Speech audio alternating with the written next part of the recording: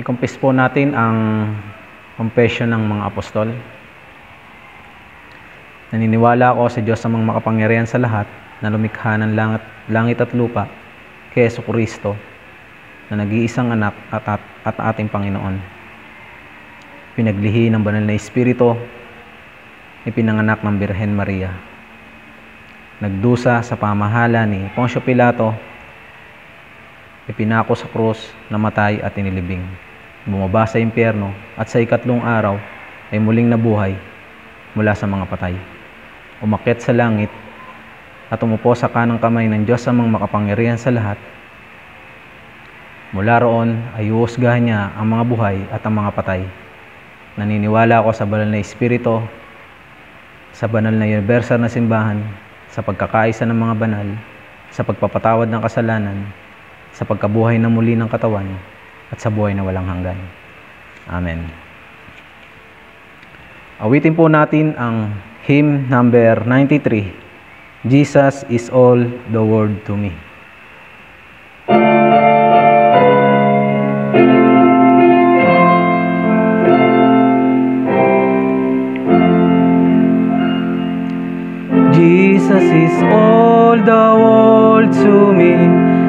Life, my joy, my all. He is my strength from day to day. Without Him, I would fail. When I am sad, to Him I go. No other one can cheer me so.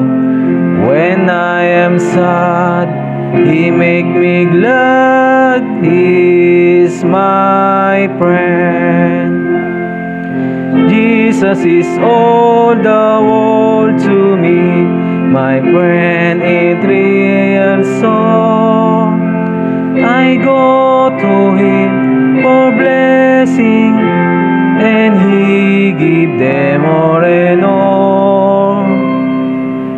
Send the sunshine in the rain. He send the harvest golden rain. Sunshine in rain, harvest of grain. He's my friend. Jesus is all the world to me, and true to Him I be. Oh, could this friend deny? We so true to me. Following him, I know I'm right. He watches over me day and night. Following him by day and night, he's my friend. Jesus is all the world to me. I want no better friend. I trust him now, I trust him when life fleeting day shall end. Beautiful life with such a friend, beautiful life that has no end.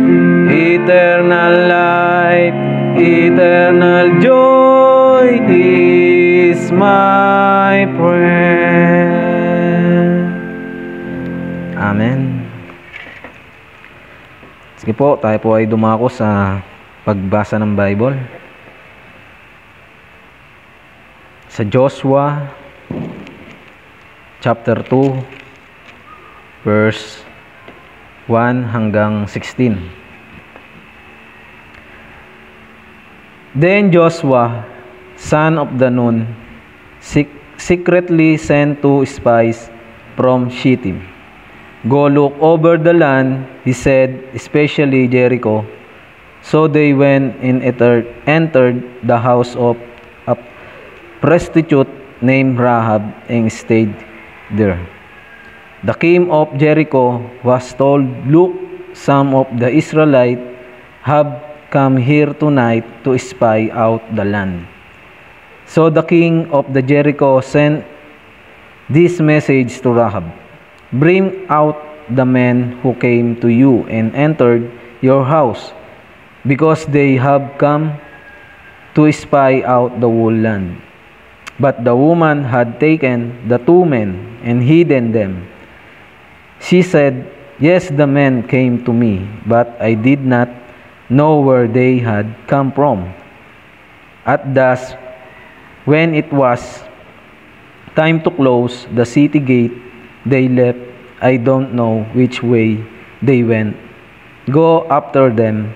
Quickly, you may catch up with them. But she had taken them out to the roof and hidden them under the stalk of flax she had laid out on the roof.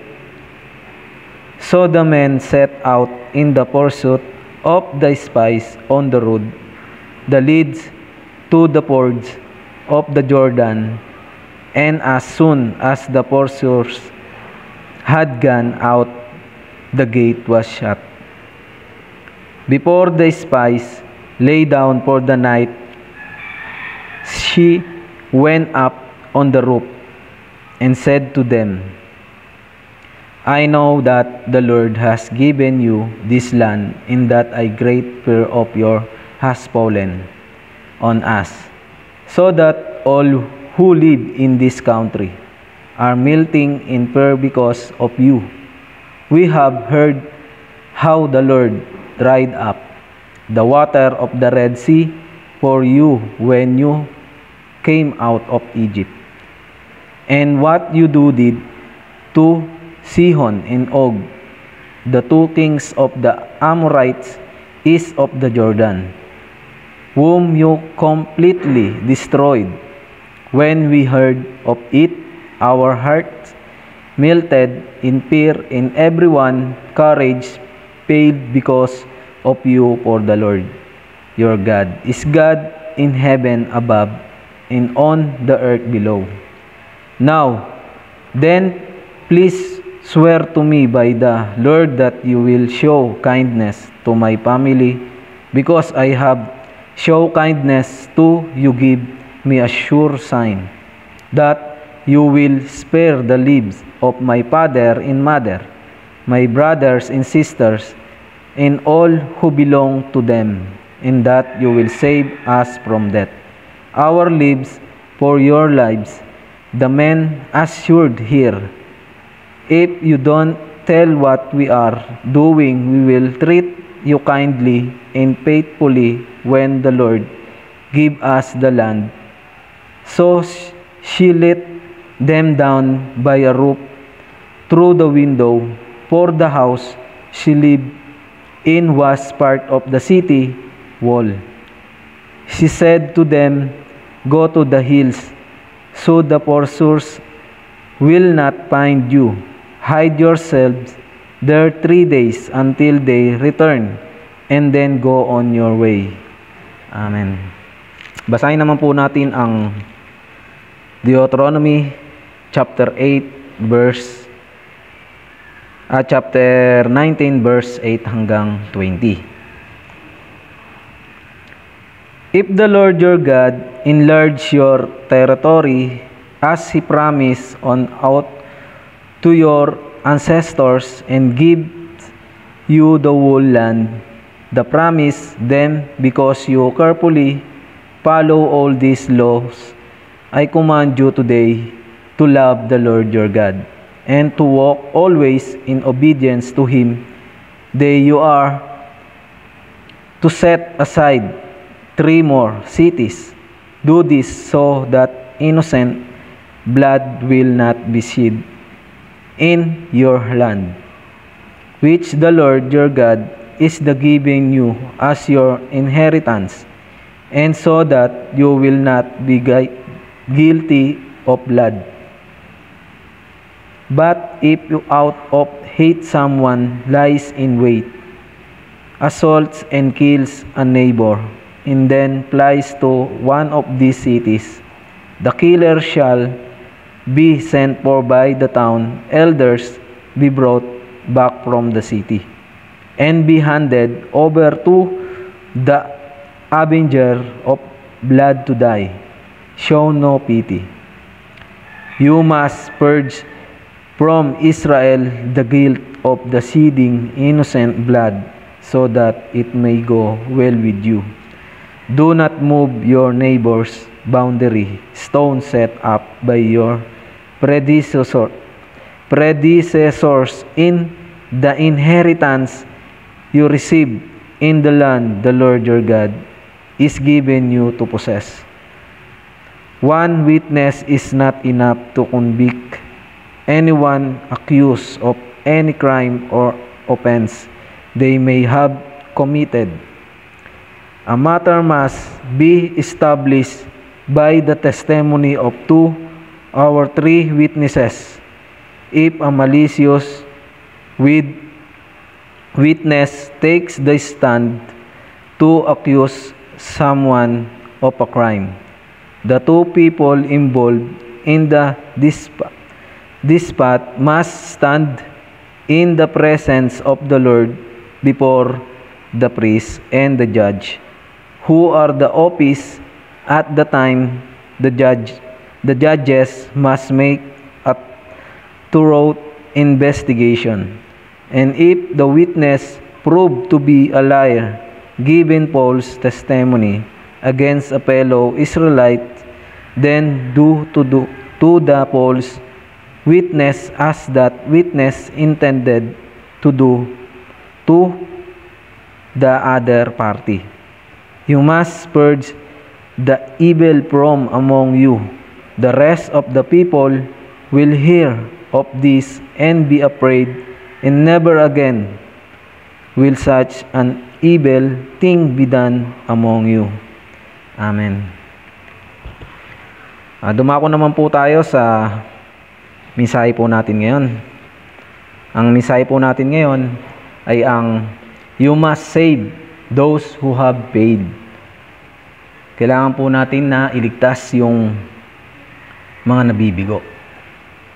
Sabi nga po sa ating introduction, sa mundong ito, ang mga nasa pamagitan ng kalooban at pagsisikap ay bihirang mangyari.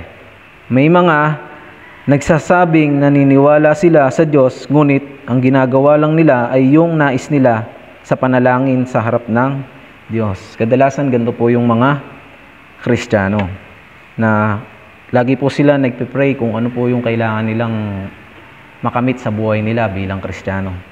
Kadalasan yung panalangin nila, ito po yung laging ginagawa lang nila. Pero ano nga po ba sabi dito? Maaari ring kwento ito ng iba, ngunit maaari ring itong sarili mo. Sabi po dito, ang paulit-ulit na kabiguan sa buhay ng isang tao o maging sa Kristiyano, nagdudulot po ito ng kahinaan ng loob upang sila, habang sila ay nabubuhay. Kaya sabi po dito, nais ng Diyos na malaman mo kung ano ang mahalaga sa mga sitwasyon kung saan walang maaaring mangyari. Kadalasan ganito po yung nangyayari sa mga Christian. Lagi po sila nag uh, nag-aano sa sarili nila na kailangan bilang isang mananampalataya o bilang naniniwala sila sa Diyos, yung buhay nila is perfect. O kaya yung buhay nila makita ng ibang tao na sila ay successful. Pero hindi po yung ganun. Sabi po dito sa number one natin, those who show absolute impossibility. May mga pagkakataon na naharap ka sa mga sitwasyon kung saan lahat ay may ayaw. At gaano man uh, kapositibo ang iyong mga naiisip, hindi mo maitatanggi na ikaw ay nasa ilalim. Kailangan po natin na makita yung absolute impossibility sa buhay natin. Na yung parang uh, parang sa tingin natin walang nangyayari. Sabi nga po dito, kahit na meron tayo na posib uh, yung yung aktibo o yung positibo na pag-iisip, minsan sa katotohanan, nasa maliit tayong pwesto. O kaya nasa ilalim tayo. Kahit na maganda yung naiisip mo. At meron naman dito, sa mga sitwasyong hindi mo rin masabi ang mga problema at nahaharap ka sa mga krisis na parang walang makakatulong sa sa'yo. Minsan ganito rin yung nangyayari sa mga Christian na mapakalaki ng problema nila sa kahirapan, maging sa trabaho, sa pamilya, maging sa simbahan. Ito po yung mga nangyayari sa makatotohanan o yung realidad kung, kung titignan natin bilang isang Kristiyano. Pero bilang isang tao rin o bilang mga unbeliever, nakakaranas din sila ng mga paghihirap nila sa buhay nila. Yung parang nakikita nila na walang nangyayari. Pero kahit ganon, sabi dito, meron magsasabi sa iyo na magiging okay ang lahat. Pero sa huli, o kung titignan, hindi dumadating yung sagot sa mga problema. Ganon din po minsan yung mga nangyayari sa atin. Ito po yung uh, ito po yung mundo. Ito po yung makatotohanang mundo. Ito po yung sinasabi nilang realidad napakahirap ng sitwasyon ng buhay, may magsasabi sa iyo na okay lang yan pagdating ng araw, magiging okay lang din ang lahat. Pero pag pag lumipas yung panahon, kung may isip, parang wala nang nangyayari. Kaya kailangan natin makita sa mga yon yung kapag nahihirapan tayo sa buhay natin bilang Kristiyano, kailangan natin makita yung uh, absolute impossibility sa buhay natin. Kahit na ganun yung nangyayari sa buhay natin. Kahit na napakalaki ng, parang walang sagot, kahit na napakalaki ng problemang nararanasan natin, kailangan pa rin natin makita na yung Diyos ay kumikilos sa buhay natin. Sabi nga po naman sa pangalawa, those who saw absolute possibility. Kailangan naman po natin makita yung absolute possibility sa buhay natin. Nangako ang Diyos na gagamitin niya si Moises para panghawakan ng mga Israelita sa pagtawid sa dagat na pula. At sabi naman po si Moises, pinanghawakan yung pangakong ito. At eksaktong ginawa iyon. Ah, may isang tao na nakarinig ng balitang iyon at iyon ay si Rahab. Ibig sabihin, uh, kung iisipin, si Moises, pinanghawakan niya yung salita ng Diyos. Ano po ba yung mga nangyari doon? sa, sa dagat sa dagat na pula. Uh, yung, kung iisipin, ito po ay parang walang daan, end na. Pero anong ginawa ng Diyos sa kanila? Binigyan sila ng daan. Yung oras na hinahabol sila ng mga Ehipto, yung hari, yung paraon. Kung isipin bilang mga Kristiyano, para tayong nasa malaking problema at parang walang daan. Pero ano yung ginawa ni Moises? Pinanghawakan yung pangako ng Diyos na ililigtas sila yung kanyang lipi, yung, yung lipi ng Diyos ay ililigtas kahit na anong paraan. Kaya, at merong isang tao na nakarinig ng balitang ito. Walang iba kundi si Rahab. Ano po yung ginawa niya? Naniwala siya sa balitang iyon, itinaya ang kanyang buhay para itago ang mga espiya at humingi ng kaligtasan sa Diyos. Diba? Ano po yung nangyari doon? Si Rahab, kung iisipin, isa po siyang maduming babae, parang ganon. Kasi nagbebenta po siya ng aliw. Pero, kung iisipin, bakit po siya naligtas? Kasi po, pinanghawakan niya yung balitang narinig niya. Na yung Diyos ay gumawa ng himala sa mga Israelita, pinadaan sa uh, dagat na pula. Kung isipin, narinig lamang po ni Rahab yon. Hindi niya po yun nakita. Pero ano pong ginawa niya? Pinandiwalaan niya po ito. Kahit Ibig sabihin, kahit na anumang estado ng buhay mo, masama ka man o mabuti, sa oras na dumating yung uh, kaligtasan sa buhay mo, makikita mo, makikita mo talaga kung ano yung magiging plano sa iyo ng Diyos. Hindi ka na didepende kung ano yung uh, gusto ng ibang tao sa iyo bilang Kristiyano. Kumbaga, didepende ka na kung ano talaga yung narinig mong balita patungkol sa Diyos. Katulad na nangyari kay Rahab. At ano po ang nangyari doon? Yung, yung kahit na yung sitwasyon na yun, kahit na alam ni Rahab na siya ay mamamatay, pag oras na nalaman na itinago niya yung mga espiya, yung mga Israelita, hindi siya nag-atubili, kundi umasa pa rin siya na ililigtas siya ng Diyos dahil humingi siya ng kaligtasan dito. At sa pamagitan ni Rahab, nakita ang absolute possibility na isagawa ng Diyos ang kanyang plano at iniligtas si Rahab kasama ang kanyang pamilya. Amen. Ganun po rin tayo ngayon. Kahit na napakalaking problema o naharap tayo sa ah, parang walang nangyayari o imposible na maganap sa buhay natin. Kahit na nahaharap tayo doon, makikita pa rin natin yung absolute possibility sa buhay natin pag pinanghawakan natin yung salita ng Diyos. At bilang konklusyon, iniligtas tayo ng Diyos sa pamagitan ng kanyang salita na ibinigay sa kanyang mga anak at itinuri at ito ay itinutupad ng Diyos. Amen. Ibig sabihin po, kahit anong mangyari sa buhay natin, tinanggap mo yung salita ng Diyos at pinaniwalaan mo na ito ay magaganap sa buhay mo, ito ay magaganap. Walang makakapigil doon. Kahit na Satan, hindi niya ito mapipigilan dahil ang pangako ng Diyos, sure na matutupad yun. Dahil siya nga yung Diyos eh. Wala nang iba, kundi siya lang. Kaya kung ikaw ay nahaharap sa isang absolute impossibility reality, kailangan mong panghawakan ng salita ng Diyos ng higit pa. Amen. Ano pong ibig sabihin nun? Kailangan po natin na sa buhay natin o ano man yung nangyayari, malaking problema tayo sa buhay natin. O meron man tayong kasiyahan na nagaganap sa buhay. O, o sa tingin mo, ano ka, successful ka at pupaarang wala ka ng problem. Kailangan pa rin natin na makita sa buhay natin na yung Diyos, iniligtas niya tayo. Ayun lamang po yun. At kung ano man yung aspeto ng buhay o sa, sa mga nakikinig dito, kung ano man yung aspeto ng buhay nila, huwag po tayong mag-alala. Kung ano po yung nangyayari sa atin, ito po yung kaloob ng Diyos. Basta kung ano po yung plano ng Diyos sa buhay natin, dun lang po tayo. Kahit na ano yung nangyayari sa buhay natin. Ayun lang po yung masasabi ko sa inyo.